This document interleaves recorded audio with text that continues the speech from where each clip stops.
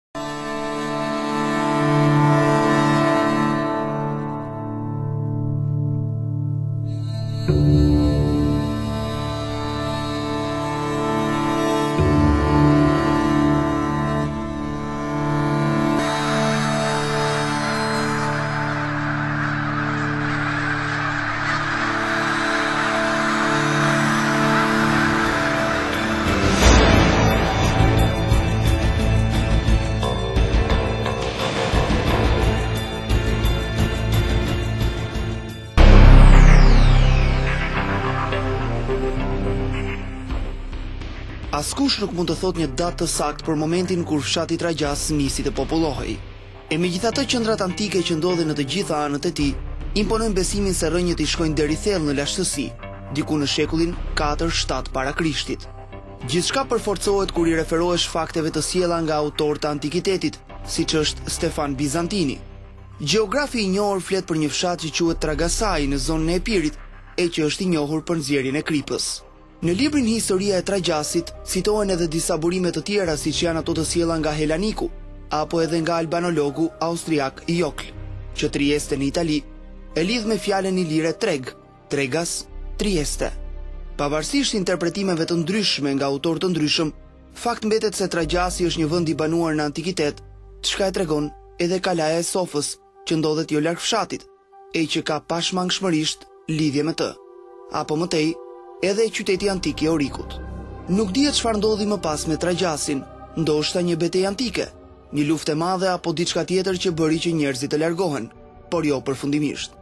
Krahina e Rrëzës, Dukatit, ka qenë pre e sulmeve të shumta të romakëve, Gotëve, Bizantit, Sllavëve, Osmanëve e kështu me radhë. Ku shkuan banorët e vjetër të Tragjasit? Ku u vendosën? Cili ishte fati i këtij fshati që vinte nga antikiteti? Për këtë faktet konkrete nuk ekzistojnë, por mendohet se goditjet që larguan banorët të kenë ardhur nga osmanët, diku rreth një mijë e katërqind e nëntëdhjetë e dyshit, kur Sulltan Bajezidi i Dytë zbriti në këto anë, duke kryer masakra. e plaçkitje të mëdha. I gjithë bregu u vu nën sulmet e ashpra osmane, që do të vazhdonin në periudha të ndryshme.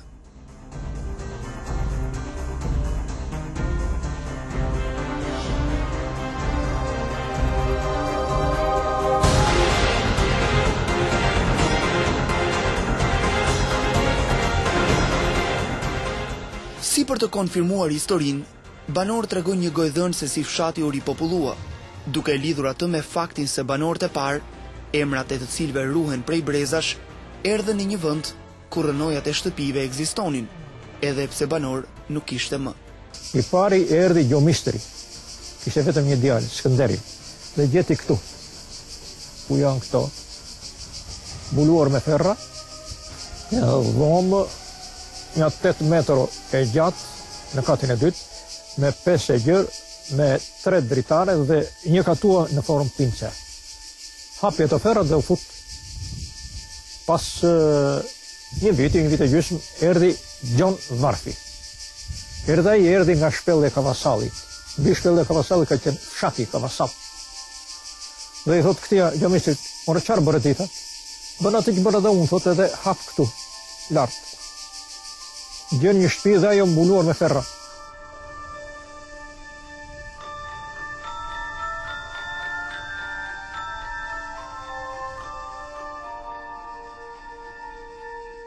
Shpesh më duket sikur fati i Tragjasit ka qenë i lidhur gjithmonë me rrënojat, me shtëpitë e vjetra të mëdha, me gurtësinë e tyre, e skalitjet që u flasin si radhë të historisë. Rrënoja dikur, kur erdhi Gjon Mistri e Gjon Varfi, rrënoja edhe sot. Kohë të ndryshme, mote të hedhura pas njëri-tjetrit, beteja, flakë, djegje, gjithçka fshihet këtu, pa u ndarë nga ky vend. Në pamje të parë, një fshat fantazëm, ku vendin e zërave e kanë zënë gërmadhat e shtëpive, dritaret e boshatisura e pragjet pa njerëz, por që megjithatë flasin me historinë e tyre të gjatë këtu, në Tragjasin e vjetër.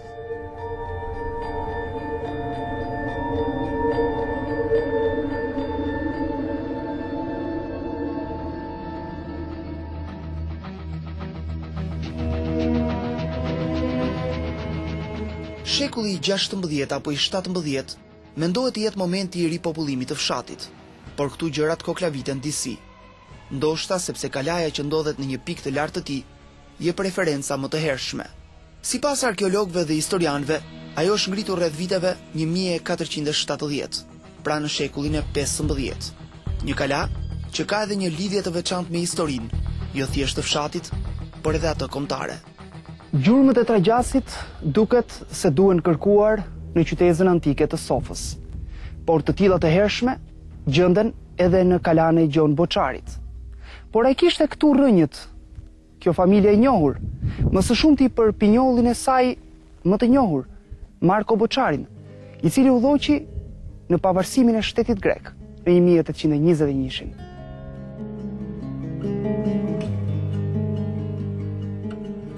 Profesor Gëzim Boçari, pinjoll i kësaj familje me famë botërore, tregon itinerarin e ndjekur nga paraardhësit.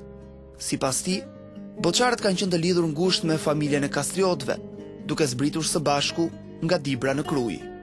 Pas vdekjes së Skënderbeut, Gjon Boçari në një duel vret një luftëtar tjetër. Familja e të ndjerit e fal, por kushtet e kohës kërkonin që Boçarët të largoheshin nga Kruja. Pasi bënë marrëveshje me parinë e Kaninës, Boçarët zbritën në Tragjas.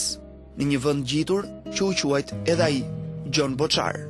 Ai ishte ndoshta një fshat i vogël, që jetohej vetëm nga një fis, ose më mirë një lagje e Tragjasit, siç u konsiderua gjithmonë. Sot në këtë zonë ruhen mjaft toponime që dëshmojnë për vërtetësinë e historisë, siç janë Shpella apo Fusha e Princ Gjonit. Aty kanë ndërtuar kalanë, që quhet Kalaja e Gjon Boçarit. Viti mund të jetë Një mijë e katërqind e shtatëdhjetë e katër shtatëdhjetë e pesë plus minus një vit që është bërë vendosja aty. Kalaja nëse është ndërtuar nga fillimi apo janë ishin themele të vjetra, po ka mundësi të jetë ndërtuar nga fillimi, është një fortesë familjare. Shumë shpejt kalaja e Boçarëve do të shndrohej në një fortesë që përdorej nga e gjithë zona në betejat anti-osmane. Janë të shumta përplasjet e luftëtarëve të këtyre zonave, që përfshinin Tragjasin, Dukatin e Radhimën. Pas djegies së Kalasë, e bashkë me të edhe të shumë dokumentave e librave me vlerë, por edhe grabitjes së një pjese të thesarit të shtetit, që sipas profesorit ruhej në këtë vend, boçarët do të lëvizin sërisht. Rreth vitit një mijë, mbas një mijë e shtatëqindës, gjyshi i Markos, që quhej Gjergji, unë kam vënë emrin djalit Gjergji, u emigroi në Sul, përsëri në marrëveshje me parësinë e Sulit. Dhe nipi, nipi, ai u emigroi atje me të gjitha të drejtat e familjes, domthonjë që kishte drejt të merrte në tryezën kryesore të fisnikërisë së vendit.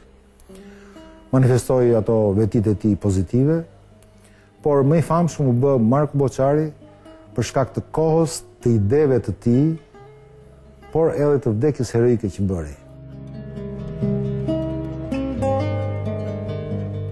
Boçarët lanë pas histori në Tragjas, por bënë të tillë edhe në Sul.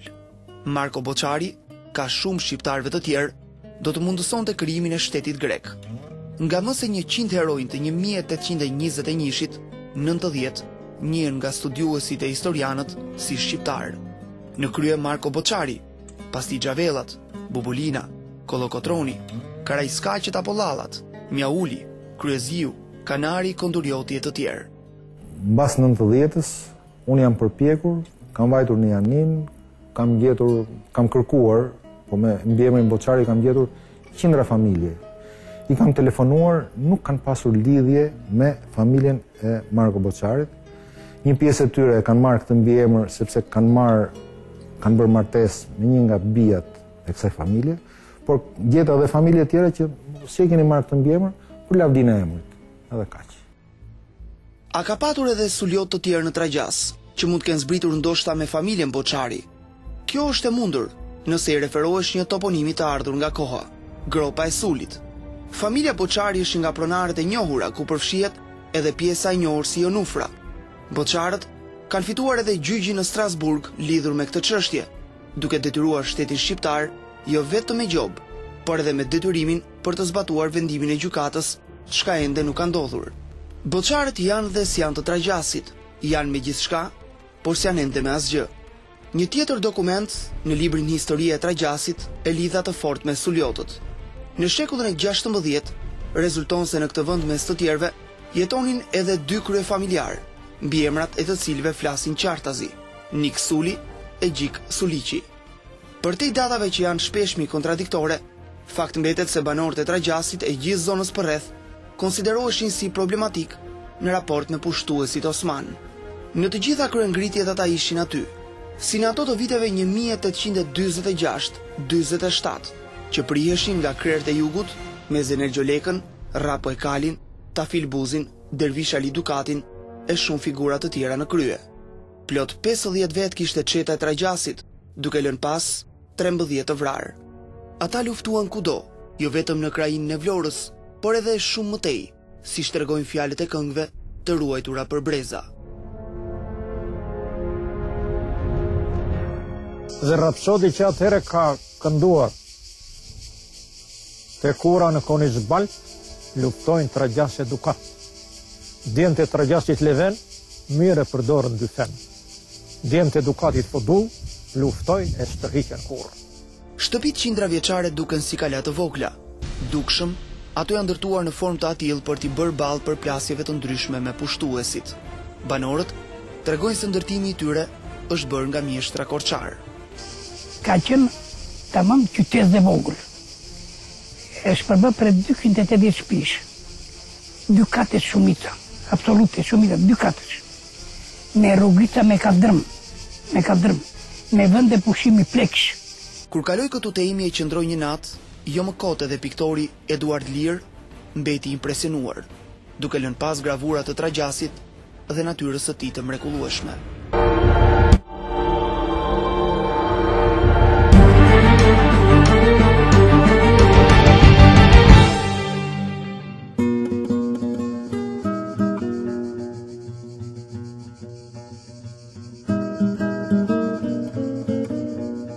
Mjafton të shikosh këto shtëpi të mëdha që edhe sot të rrënuara duken hijerënda E që flasin më shumë se gjithçka për pozitën dhe forcën e banorëve të këtij fshati.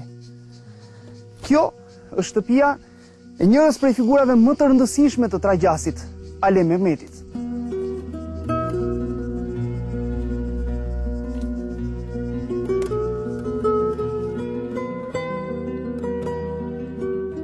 Alem Mehmeti është një nga figurat më të njohura jo thjesht të Tragjasit, Shpesh, ai është lënë mënjanë, edhe pse kontributi i tij për çështjen kombëtare është i jashtëzakonshëm. Hapat e parë i hodhi në bashkëpunimet me Çerçiz Topullin e kulmuan me Ismail Qemalin, që gjithmonë e konsideroi si një ndër njerëzit e tij më besnikë. Jo më kot, pas shpalljes së pavarësisë, i dha një rol kyç në drejtim të xhandarmërisë së re shqiptare. Alem Mehmeti do të ishte edhe një nga figurat qendrore të luftës së Vlorës në vitin 1920. Angazhimi i Alem Mehmetit ka qenë i veçantë, ka qenë komandant çetash para shpalljes pavarësisë dhe sidomos mbas shpalljes pavarësisë, i cili ka përballuar, ka qenë dhe komandant i parë i xhandarmërisë qeverisë Ismail Qemalit, i cili ka përballuar sulmet e grekëve në Llogora, ku i zmbrapsën grekët bashkë me Dukatin, Alem Mehmeti ka qenë një nga komandantët e këtyre çetave, gjithashtu dhe me sulmet e e, e njerëzve të Haxhi Qamilit në anën veriore të Vlorës. Në fakt Ismail Qemali do të zbriste dy herë në Tragjas, një herë kur kërkonte mandatin për deputet dhe një herë tjetër në vitin 1911 kur u takua me banorë e miq në këtë fshat. Jo më kot ai zgjodhi një pjesë të mirë të bashkëpunëtorëve të tij nga Tragjasi, veç Alem Mehmetit, Xhafer Xhuveli u bë sekretari i tij. Mustafa Tragjasi, drejtor i Doganës së Shtetit, ndërsa Sadedin Alushi, nëpunës i gjykatës në Mallakastër. Bile unë kam në atë bibliotekën time modeste një fotografi që më ka ardhë nga Amerika dhe atje janë katër tragjasas në këshillin qëndror të qeverisë Ismail Qemalit. Xhafer Xhuveli do t'i qëndronte në krah Ismail Qemalit gjatë gjithë jetës, si një ndër njerëzit e tij më besnikë, por edhe më pas, kur ai u rivarros në Vlorë. Ai do të ishte aty, krah mikut të tij, për t'i bërë nderimet që i takonin. Sot në Tragjas bie shpejt në sy varri monumental i Alem Mehmetit, që qëndron në një pozicion dominues, si për të treguar po aq imponueshëm historinë e tij. Çka është e vërteta? Nuk ishte rastësia apo miqësitë personale që çuan në marrjen e pozicioneve të tilla nga banorët e Tragjasit. Ata ruanin në fshat një nga traditat më të jashtëzakonshme e më të forta që tregojnë dëshirën për arsim. Vetë banorët mblidhnin para për t'u garantuar bursë atyre të rinjve që kishin mundësi dhe aftësi për të ecur përpara. Bëhej një përllogaritje dhe më shumë fond sigurohesh nga familje që ishin më të pasura dhe më pak merresh familjeve që ishin me pasuri më të vogël. Dhe kështu funksionante. Pastaj pleqësia ndante, Këtë shumë që ne po mbledhim, po grumbullojmë, kështu që llogari dhe atëherë, këtë do ta çojmë në këtë destinacion, kaq në këtë destinacion, sivjet po na mbaron shkollën, kaq djem, kaq vajza, dhe këtyre djem ose vajza që kanë mundësinë për të ecur përpara, ne duhet, s'kanë mundësinë ekonomike, atëherë ne duhet të sigurojmë bursë, dhe u siguronte nga fshati. Shkolla e parë në Tragjas është hapur që në vitin 1908, nga Ibrahim Kurti nga Gjirokastra dhe u ndërtua nga Aris Ferati. Në vitet një mijë e nëntëqind e trembëdhjetë, katërmbëdhjetë, në Tragjas mësues shërbeu një djalë i ri, pak i njohur për kohën, por që më pas do të shndërrohej në një simbol, Avni Rustemi. Ai nuk qëndroi deri në fund të vitit shkollor, sepse në vitin një mijë e nëntëqind e katërmbëdhjetë u detyrua të largohej drejt vendlindjes së tij, Libohovës, Kjo sepse e gjithë zona po kërcënohej nga avancimi i trupave greke.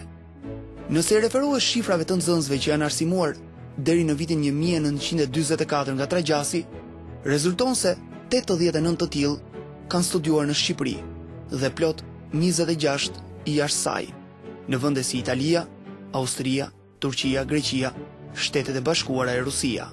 Kryesisht një pjesë e mirë e familjes është marrë me blegtori, prodhimet e cilave i shisin në qytet, në Vlorë natyrisht. Edhe krijonin të ardhura të caktuar. Këtu ka pasur të ardhura edhe nga emigracioni. Këtu ka pasur banorë të këtij fshati që kanë punuar në qytete të ndryshme dhe kishin lidhje me fshatin. Ka pasur emigrantë të vjetër, qoftë në Stamboll, qoftë në vende të tjera. që me siguri kanë pas sjellë të ardhura dhe këto të ardhura tregojnë që këtu ka pas një nivel të caktuar jetese. Pasi ishte përballur një herë me italianët në vitin një mijë e nëntëqind e njëzet, duke dhënë edhe djemtë e saj në luftë, fshati rebel do të përgjigjej sërisht edhe pas riardhjes së tyre në një mijë e nëntëqind e tridhjetë e nëntë. Pak përmendet fakti se një ndër çetat më të njohura, e drejtuar nga Neki Imer Hoxha, çeta Plakë, që u krijua në dhjetor dyzet e dy, Kishte një bosh të fortë me djem të Tragjasit. Jo pa arsye komisari ishte Qazim Çakërri, nga ky fshat. Fati i tyre ishte tragjik, jo nga pushtuesit, por nga shokët e tyre. Kundërshtimet që krerët e çetës Plakë i bënë disa ndër vendimeve dhe linjës së ndjekur nga krerët e Partisë Komuniste çuan në ekzekutimet e tyre. Prej kohësh kontradiktat mes Enver Hoxhës dhe Sadik Premtes, kunatit të Nekiut, kishin shkaktuar një çarje të madhe. Në kohët kur lufta ishte në kulmin e saj, Enver Hoxha urdhëroi eleminimin fizik të kundërshtarëve. Fillimisht vritet Anastas Lula, pas dy javësh në njëmbëdhjetë maj dyzet e tre vritet Xhemil Çakërri, vëllai i Qazimit, e më pas edhe Neki Imeri. Ndërkohë që vetë Qazimit iu bënë disa atentate dhe vetëm në të fundit mundën ta plagosin. I gjendur në këtë situatë, së bashku me të motrën ai u largua në Shtetet e Bashkuara. Ndërsa familja vuajti jo thjesht presionin italian që ia dogji plot dy herë shtëpinë, por edhe atë të regjimit në kohën e diktaturës. Ky ishte një moment që krijoi jo pak çarje në fshat. E megjithatë situata kërkoi që masa dërrmuese të bashkohej me luftën, ku krijimi i çetës Hodo Zeqiri do të përbënte një ndër momentet kyçe të saj. Aksionet e partizanëve të Tragjasit u bënë aq të shumta, sa siç në kohën e osmanëve, edhe italianët u hodhën mbi fshat për ta zhdukur. Ishte pesë gushti i vitit një mijë e nëntëqind e dyzet e tre. Luftimet zgjatën plot dy ditë. në një raport të zhdrejtë forcash. Nga njëri krah mbi katër mijë trupa italiane, më se njëzet tanke, katër bateri me automatikë, e tjerë. Në tjetrin, çeta Hodo Zeqiri, rreth tridhjetë e pesë pjesëtarë të trupës territoriale të fshatit dhe tridhjetë banorë të thjeshtë të tij. Në shtatë gusht, partizanët u detyruan të tërhiqen, në një kohë që edhe banorëve U ishte thënë të ngjiteshin sipër në mal, larg fshatit. Në orën dymbëdhjetë të datës shtatë gusht, forcat italiane hyrën në orën dymbëdhjetë dhe dogjën njëqind e gjashtëdhjetë e shtatë shtëpi të Tragjasit. Ndërsa fshati, popullsia e fshatit kishte marrë urdhër nga shtabi, Nga shtabi partizan që të ikë së mbari.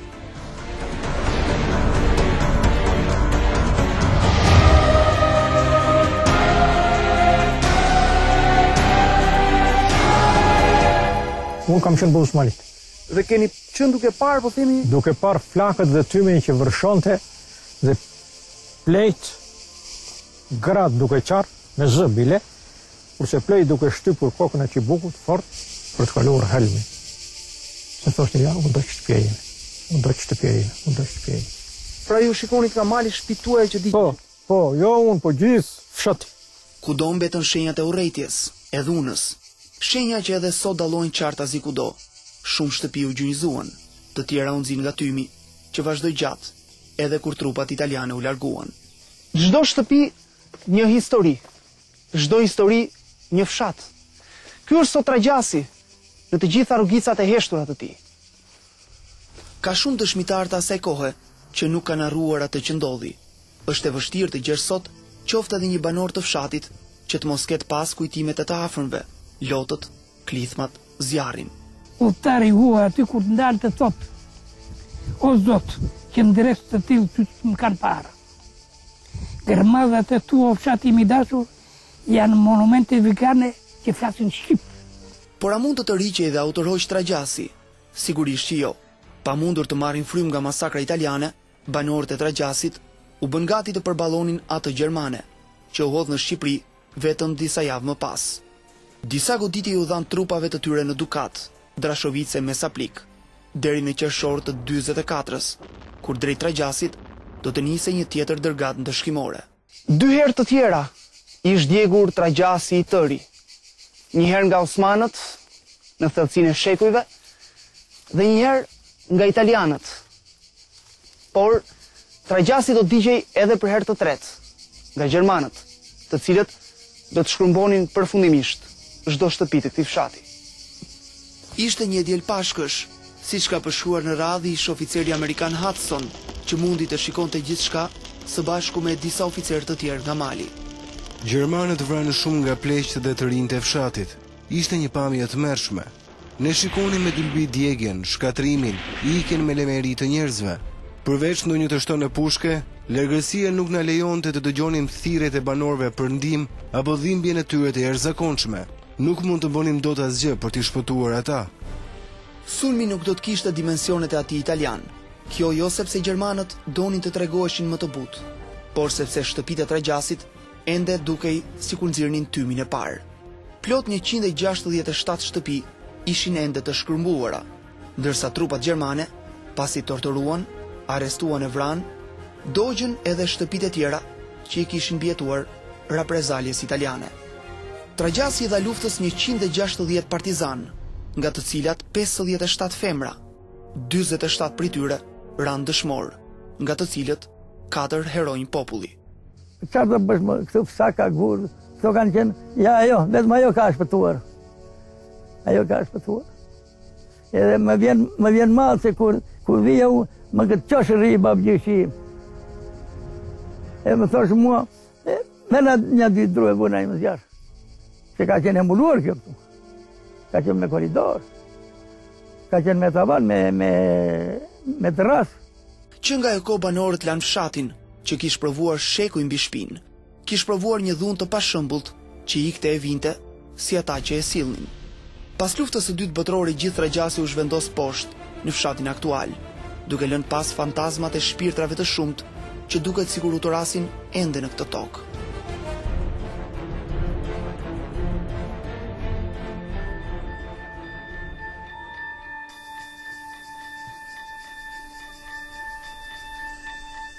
Tragjasi është një lloj muzeu në natyrë, një muze që flet më shumë se gjithçka me këto rrënoja, me këto shtëpi, me këto dritare që duken si sy të perënduar. E të mendosh se dikur pas tyre fshihej një fshat i tërë. Fshiheshin banorët e tij, me historitë kaq të ndryshme, por edhe kaq të lidhura me njëri-tjetrin. Madhështia e këtij fshati mbështetet në tre shtylla. Këto janë patriotizmi, i spikatur i këtij fshati, arsimi po i spikatur, gjithashtu edhe pejsazhi, natyra, vendndodhja e këtij fshati siç e shohim që është kundrejt gjirit të Vlorës, është si me thënë kurora, mbyllja e kurorës së gjirit të Vlorës.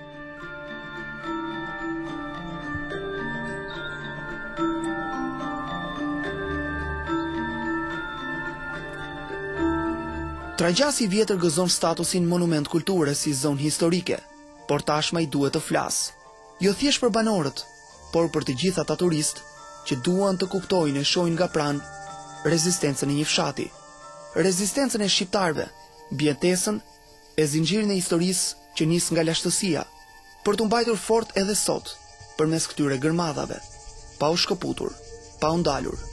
Ky është Tragjasi! Fshati që e dogjën, por që nuk e shkretuan dot.